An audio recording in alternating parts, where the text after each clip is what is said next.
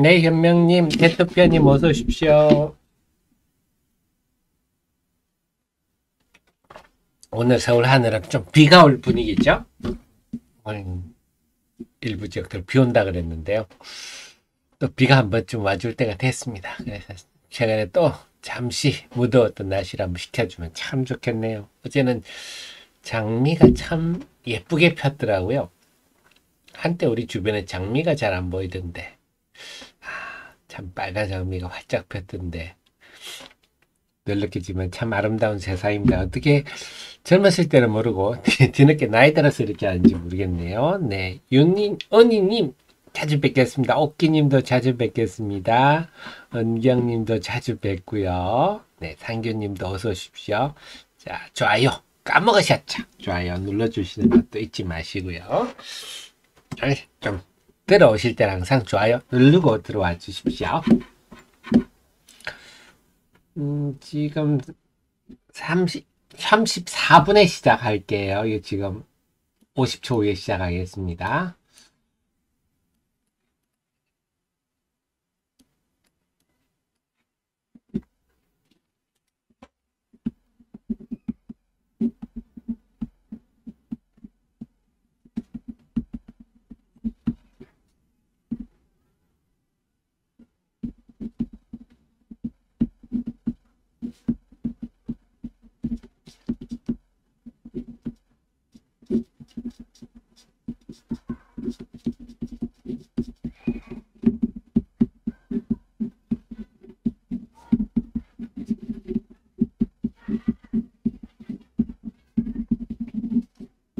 네, 리치맨님 어서 오십시오. 강수님도 자주 뵙겠습니다. 재봉님 어서 오시고요. 네. 네. 네. 5월 22일 월요일입니다. 대미경제TV 시작했습니다. 여러분을 가장 사랑하는 방송. 개인 투자자를 가장 사랑하는 방송입니다. 여러분을 특급 펀더 매니저로 만들어지시는 만들어드리는 그런 방송입니다. 자, 지난주 말 미국 증시는 그냥 무난무난했습니다. 음, 좀 올랐으니까 쉬어가는 그런 모습이고요. 어쨌거나 이, 이 올해 가장 고점을 돌파했다. 이건 상당히 의미 있는 흐름이다. 쉽게 꺾일 것 같지 않죠? 그리고 그 지난주의 조정 배경은 미국의 부채 협상이 또 잠시 중단됐다 하는 게 상당히 미국적 재료죠. 자, 그 속에서 보면 16년, 10년물 국채 금리가 상승, 이거 좀 부담되네요. 우리가 아시겠지만 이 국채 금리가 오르면 네, 아무래도 나스닥이 기가 죽고 그런 상황인데 국채금리가 고개를 들고 있다. 이걸 조금 신경 써야 될 것 같고요.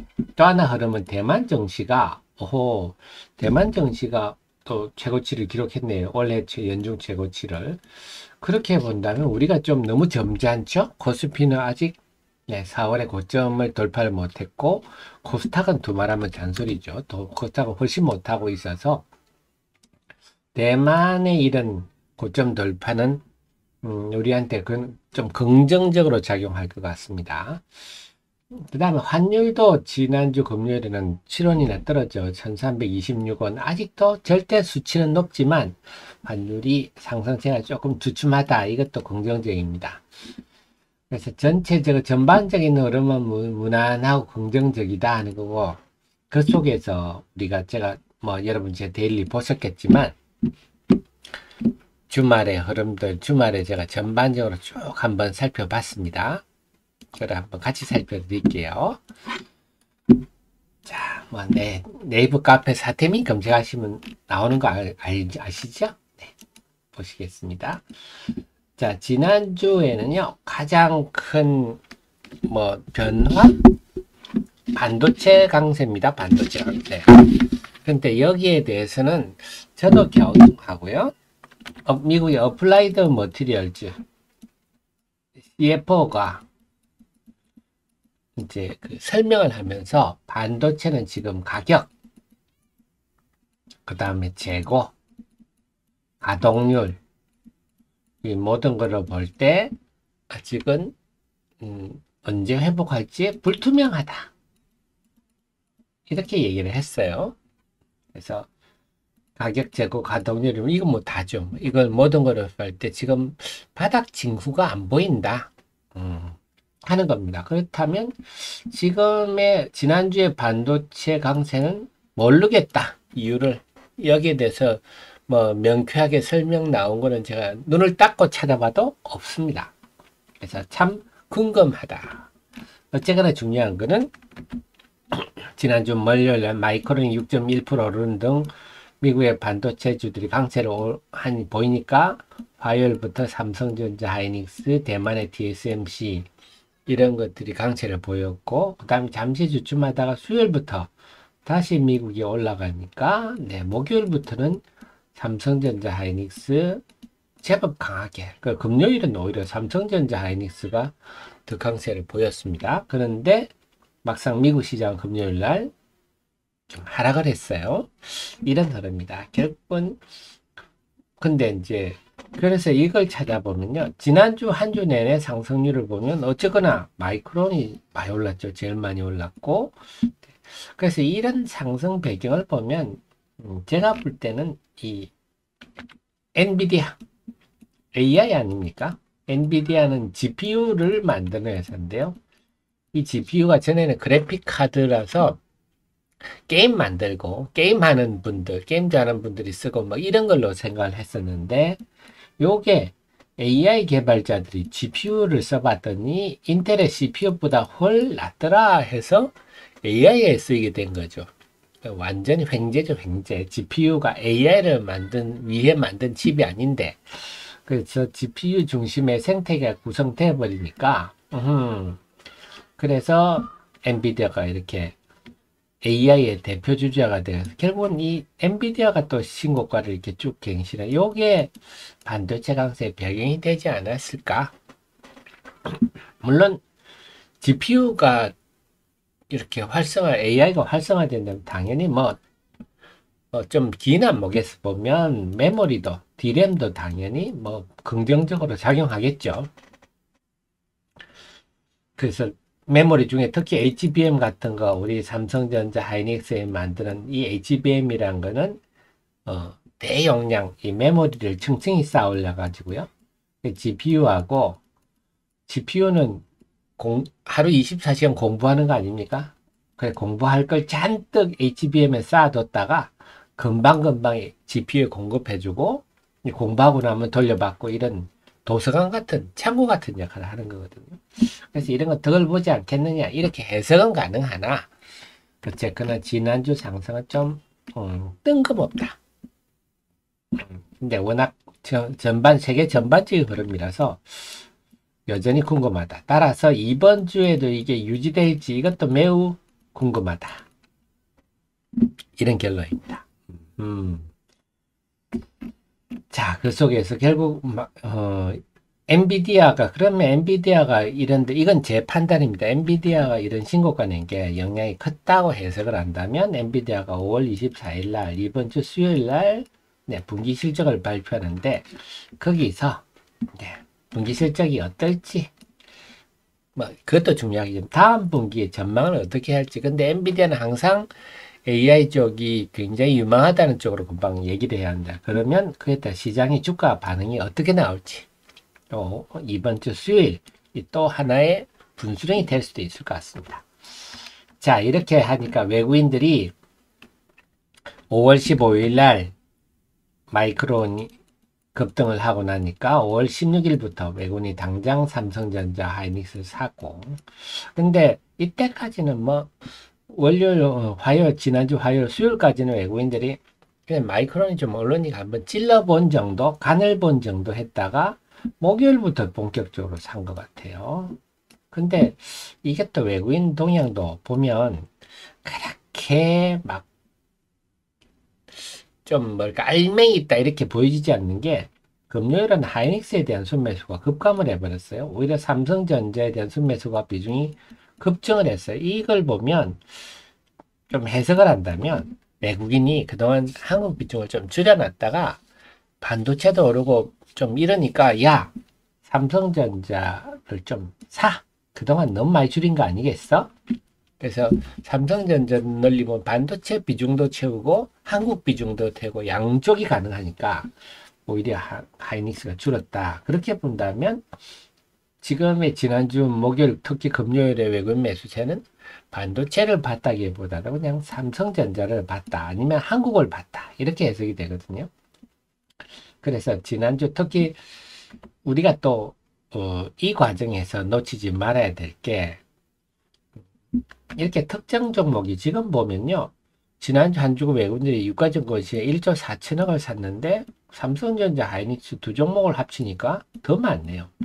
그러니까 특히 목요일 금요일은 특히 금요일은 극단적이었죠. 삼성전자 한 종목이 거의 유가증권 시장 전체랑 맞먹을 정도가 돼버렸으니까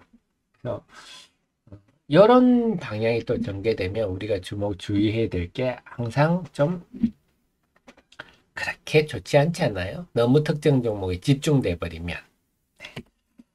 그래서 지난주 흐름을 보면 화요일부터 갑자기 순매수가 나타난 거는 역시 마이크론의 월요일에 6.1% 급등이 영향을 줬다.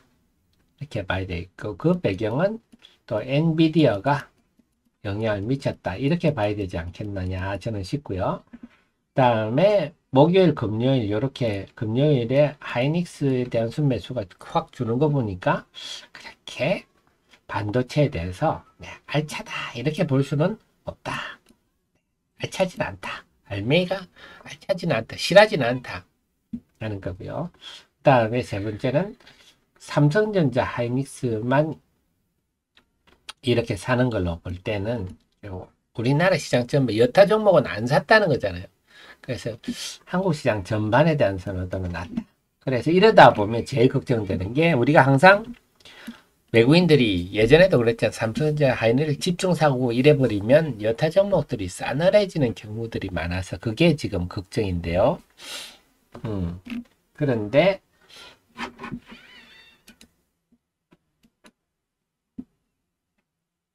네. 그래서 이 지금 보면 외국인이 양시장에 지난주 목요일부터 수요일부터 그래도 상승 종목이 많아졌어요. 그래서 이걸 보면 아직은 시장에 부정적인 영향을 주지는 않고 있다. 삼성전자 하이닉스가 외국인이 매수가 들어와서 수 외국인 순매수가 증가하는 것은 좀 긍정적인 영향을 아직은 주고 있다. 이렇게 해석되는데 금요일날 조금 애매했죠. 금요일날은 네, 양시장 모두 목요일보다는 상승폭이 컸는데 하락 종목이 더 많아졌어요. 이걸 보면 시장이 조금 이제 부작용이랄까 피로감이 등락, 등장 한다. 역시 특정 종목에 집중되다 보니까 네 애매해진다. 요걸 좀 봐야 되겠습니다. 그래서 결국은 지금 상황에서 보면 어, 뭐냐 좀 반도체만 가 반도체가 또 이번 주까지 유지가 될지는 이것도 지켜봐야 될 대목이고요. 유지된다 하더라도 지금 어, 전체 시장에 대한 긍정적인 영향이 지속될 가능성은 좀 점점 낮아지고 있다.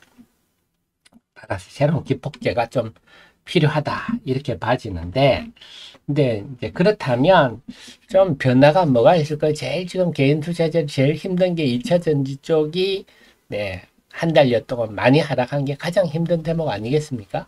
네, 그래서 꼭 2차 전지 쪽이 지금 좀 반등을 해주면 시장 분위기나 투자 심리가 훨씬 좋아지겠죠. 그렇게 되면 네, 반도체와 함께 서로 반도체와 IT 그리고 2차 전지가 주거니 받거니 선순환이 나타날 수가 있는데 그 좀 반등의 계기는 뭐 없을까요? 한다면요. 예, 지금 요걸 한번 지난주에 지난 한 주간입니다. 한 주간 리튬 가격이 급등을 했어요. 한 주간 30% 24%면 많이 올랐죠. 그래서 보면 올 들어서 지금 리튬 가격이 많이 떨어졌는데 이게 리튬 가격만 떨어진 게 아니고 2차 전지 소재 전반이 다 떨어졌어요. 그래서 뭐 육불화 인산 리튬만이라든지 리튬염 이런 것도 많이 떨어지고요. 뭐 바인더라든지 2차 전지 소재 전반이 많이 떨어졌습니다. 음. 그 말은 결국 중국이 대표적인 그 소재들이 주로 중국에서 나오는데요. 중국에 지금 수요가 둔화되고 있다. 이 바람에 그러니까 결국 이 말은 공급 과잉이 되고 있다. 중국의 경우는 이렇습니다. 이 소재를 중국에다 생산하는데 중국의 수요가 둔화하면서 공급 과잉 형태가 나타나서 가격이 쭉 떨어졌는데 지금 가격이 좀 야무지게 반등하고 있죠. 이런 상황이다. 여기에는 상당히 고무적 긍정적으로 작용할 수 있는 부분들입니다. 그래서 리튬 가격이 상승을 하면요. 이제 다른 것도 다 올라가겠죠. 왜냐하면 그 양극재 이런 것들은 당연히 양극 활물질 만들 때 리튬이 필수적으로 들어가는데요. 얘 가격이 올라오면 당연히 양극 활물질 가격이 올라갈 수밖에 없겠죠. 그리고 지금의 이런 반등이 결국 그 두 가지 가능하겠죠. 낙폭이 커서 뭐 반등하는 걸 수도 있고 아니면 이 반등이 낙폭에 따른 반등이 될 수도 있고 아니면 수요가 지금 회복돼서 갈 수도 있겠고 뭐 두 가지가 가능합니다. 근데 제가 늘 말씀드렸지만 지금 중국은요 어, 타이타닉이다. 침몰하는 타이타닉이다. 빨리 멀어지는 게 맞습니다. 사실 중국들이 이 앞에 어, 덩샤오핑부터 장점인 후진타오까지 아주 합리적으로 경제에 대해서는 음, 그래서 그 양반들은 정치적으로는 공산당 체제를 유지하면서도 네, 개혁 개방을 상당히 합리적으로 잘 해왔습니다. 그걸 가지고 지금까지 먹고 사는 시진핑 시대 지금 독재 시대에 빼먹고 있는데요.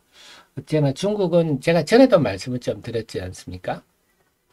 그 지금 외국인 투자자 돈도 안 빼주고 제가 뭐 그때 한번 말씀을 드렸는데요.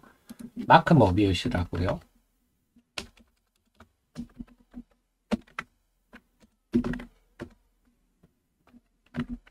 네, 마크 모비우스를 아주 뭐 이분은 템플턴 자선운용 그룹 뭐 하여튼 이 마크 모비우스라는 분은 거의 아시아의 마크 모비우스는 워렌 버핏에 해당하는 이 엄청난 영향을 주는 분인데 이분이 지난번에 인터뷰에서 중국에서 내가 돈을 빼려더니 돈을 안 빼주더라.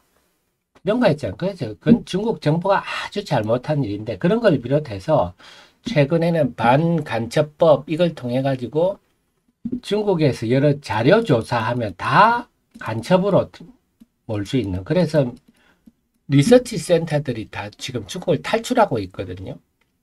그런 상황이다 보니까 좀 걱정은 되는데 그렇다고 뭐 전기차 시장이 중국만 있는 거 아니고 어쨌거나 지금 상황은 수요가 지난주에 지난 한 주간 이렇게 급등을 하고 있어서 대표적인 게 리튬 그 다음에 네 이게 전해 리튬 염이죠. 6분의 인산 리튬 대표적인 범용 그래서 이런 것들이 오르는 것들은 상당히 의미 있는 대목이다. 그래서 이게 2차 전지 쪽에 훈풍으로 작용할지 이것도 봐야 되겠습니다. 그래서 지금 현재 2차 전지는 요 재료를 인해서 반등이 올 수 있다 하는 것. 자 그리고 코스닥 시장은 또 하나가 대신에 그 외국인들이 에코 프로, 에코 프로 BM, L&F 쭉 팔죠. 지난주에 쭉 팔았습니다. 그 중에 역시 에코 프로가 제일 많이 파네요. 그래서 에코 프로는 지금 공매도 4위까지 올랐어요. 음, 그래서 공매도 4위면 상당히 높은 편이죠. 그래서 공매도 4위까지 결국 지금 이 매도는 다 공매도다. 이렇게 보시면 되겠습니다. 자, 그렇다면 이제 또 하나 우리가 봐야 될 부분이 지금의 최근에 지난주 후반에 이 에코프로에 대해서 매도 의견을 낸 정권이 하나정권이거든요. 하나정권 애널리트가 나름 고생을 하고 있는 모양입니다. 고생을 하고 있는데 저는 뭐 인정. 자기의 주장을 일관성 있게 펼치는 건 또 인정. 근데 그 논리를 보면 에코프로에 대한 목표가는 내리지만 에코프로 BM, 뭐 LNF, 포스코 퓨처엠 이런 거 올린다. 그의 논리는 이렇게 구별 짓는 논리거든요. 그래서 이것이 시장에 통해도 괜찮겠다. 즉, 에코프로가 빠지더라도, 에코, 지금까지는 에코프로의 영향력이 크다 보니까, 에코프로가 빠지면 여타 2차 전지도 같이 우르르 밀리는 경향이 있는데, 이제 이런 논리가 돼서 에코프로는 뭐 에코프로고, 나머지 주식은 나머지 주식이다. 이렇게 가는지도 중요할 것 같아요. 그렇게만 한결 좀 시장이 쉬울 것 같은데 근데 지금 보면 에코프로의 개인 투자자 주주 중에 개인 투자자 숫자가 굉장히 급증했더라고요. 결국 에코프로의 이번 급등 과정에서 개인 투자자들이 많이 에코프로를 매매를 했고 그래 지금 물려 있다 그렇게 봐야 되는데 그건 좀 안타깝죠. 그래서 지금 시장은 2차 전지는 두 가지 놀린 것 같아요. 첫째는 지난주에 야무진 반등 가격이 상당히 급반등했다 할 정도로 리튬이나 등등이 급등을 했기 때문에 이게 이거는 순풍이죠. 훈풍에 해당합니다. 호재에 해당하는 거고 이게 과연 주가에 반영될 것인가 이거를 이제 이번 주 봐야 되겠고요. 두 번째는 그 속에서 에코프로와 여타 종목 사이에 어떤 단절이 되느냐. 음. 에코프로 너는 혼자 많이 올랐지 않니? 우리랑 좀 다르 처지가 다르지 않니? 이런 흐름이 나타나는지. 물론 여기에 또 하나가 외국인들이 이들 종목에 대해서 계속 순매도를 지속할지 그것도 지켜봐야 되겠습니다. 그래서 이 두 가지 흐름이 지금 존재한다. 결국에 에코프로도 따지고 보면 네, 그동안 좀 너무 많이 올랐으니까 지금 어떻게 보면 이게 자연스러운 숨고르기거든요. 아, 이렇게 올랐는데 이 정도 안 빠지면 안 되겠죠. 그래서 전체적으로 이번 주 정리를 하면요. 24일 날 엔비디아 네, 분기 실적 발표가 있는데 거기에 대해서 시장이 어떤 반응, 해석과 반응을 보일지 이걸 한번 좀 수요일 날 눈여겨봐야 되겠고요. 물론 이게 지금 반도체 현상이 지속될지 이것도 이번 주에 관전 포인트가 되겠습니다. 그 다음에 만약에 반도체 현상이 이번 주에도 지속된다 한다면 등락 종목 수출도 봐야 된다. 삼성전자에 지나치게 이렇게 집중되면 여타 종목이 싸늘해지는 경우가 많기 때문에 반도체 전자에 집중될 때 등락 종목 수도 우리가 계속 좀 챙겨야 되겠다. 보시고요. 그 다음에 지금 2차전지 소재 가격이 급반등 지난주 했는데 그게 2차전지 전반의 반등으로 이어질지 이것도 오늘부터 이번 주에 관전 포인트가 되겠습니다. 그 다음에 그 속에서 에코프로 세 종목에 대해서 외국인 순매도가 지속될지 그 다음에 네, 에코프로에 대해서 공매도 동향 이것도 봐야 되겠고 그 다음 단절 여부도 봐야 되겠습니다. 에코프로와 1차전지, 2차전지 그래서 지금 이번 주 시장은 전반적으로 좀 상기, 생, 챙겨볼 게 좀 많네요. 결론적으로는요. 오늘 시장 어떻게 될까요? 모르겠습니다. 네, 오늘 시로 어떻게 될지 모르겠습니다. 하지만 그래서 그건 불가능한데 이런 요인들을 보면서 지금은 네, 좀 빠르고 유연한 대응을 해야 되겠다. 이렇게 결론을 지을 수가 있겠습니다. 자, 그래서 보신다면요. 제가 주말에 또 감각을 찾기 위해서 반도체 관련주들 좀 살펴봤거든요. 이 현보, 뭐 BSK, ISC 이런 종목. ISC는 이제 그 소모품 부품의 대표 주자로서 ISC가 많이 움직이길 한번 살펴봤고 PSK는 장비의 대표 주자라서 한번 살펴봤는데요. 역시 이거 살펴봐도 야, 지금 이렇게 주가가 올라요. 물론 이제 ISC는 SKC에서 인수한다.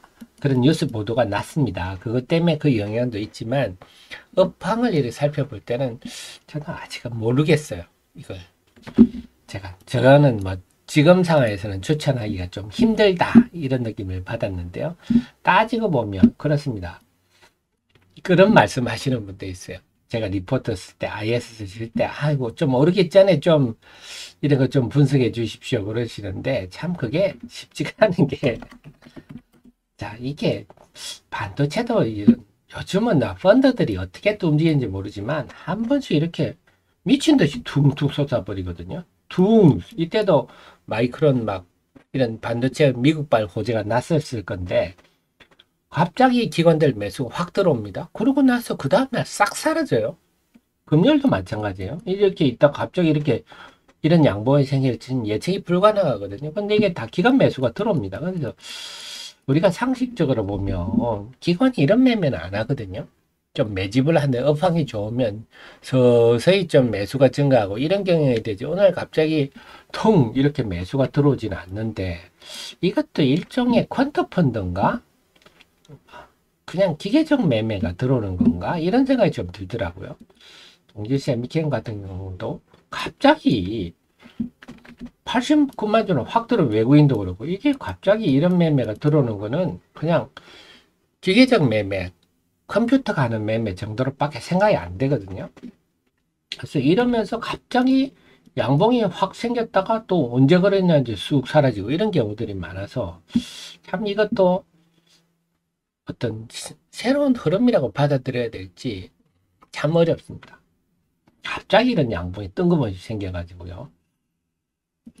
그래서 지금 오늘 시장을 전체적으로 보실 때는 이제 그런 점들 정도를 살피면서 결국은 지금 상황에서는 예측이 불가능하다. 그래서 예측보다는 상황 상황에 따라서 우리가 대응을 좀 잘해야 되겠다. 이렇게 말씀을 드릴게요. 그 개장하면서 저랑 또 이 상황들을 한번 같이 살펴보시면 되겠습니다.